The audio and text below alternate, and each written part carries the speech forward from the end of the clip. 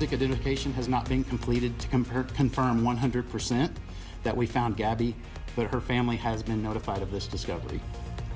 The cause of death has not been determined at this time.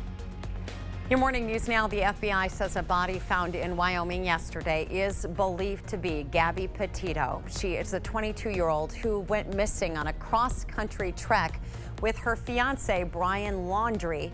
Authorities are currently searching for Laundrie, who's believed to be somewhere inside the Carlton Reserve, a 24,000 acre wildlife refuge in Sarasota County, Florida. He vanished last week after police named him a person of interest in Petito's disappearance. A military training jet crashed in a neighborhood near Fort Worth, Texas. The two pilots were injured in the incident, which also damaged homes. Authorities say both pilots ejected from the plane. The parachute of one pilot was caught in power lines, causing some residents to lose power.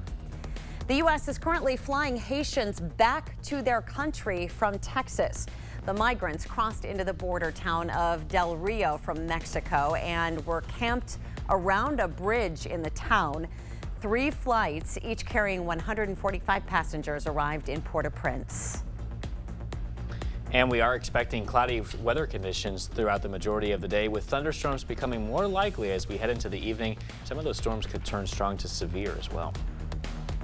There are claims against the defendant that uh, go to his state of mind in terms of intent or recklessness, and it's my burden to prove that. A ruling from Kenosha County Circuit Court judge marks a win for Kyle Rittenhouse ahead of his November trial.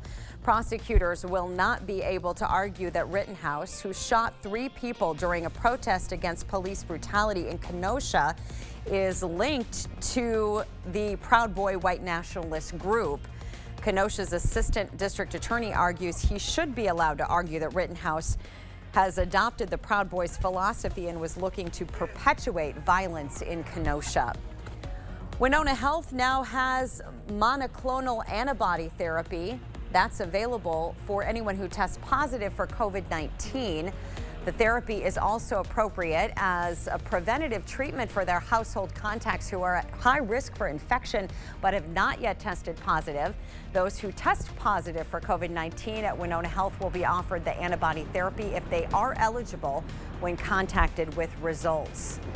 The Great Rivers United Way annual fundraising campaign is currently underway, kicking off with a drive-through breakfast outside downtown La Crosse's cargo room. The organization has a $2 million goal for this year's campaign, which includes the organization's first ever campaign crew family. We do have a link to donate on our website, news8000.com. Aspiring business owners have a chance to learn lessons from UW La Crosse with an introduction happening tomorrow.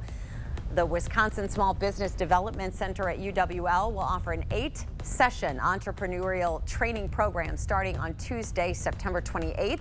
The program is for anyone looking to start their business or improve sales and profits. Additionally, the course will help existing businesses adapt to the new challenges and opportunities the pandemic presented. The introductory session begins at 5 p.m. tomorrow at Wittich Hall on campus. As a reminder, the Oktoberfest annual medallion hunt begins today. One clue will be issued per day with everything posted on Oktoberfest USA's Facebook, Instagram, and website. 10 clues have been prepared and will be shared in order until the medallion is found or all 10 are used. The prize for finding the medallion is $500 cash and a souvenir medallion.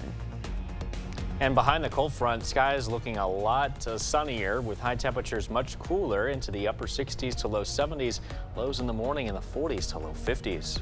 Thanks so much for sharing your morning with us. We hope you have a great Monday, and we will look forward to seeing you right back here tomorrow. We're going to send you now to CBS Mornings.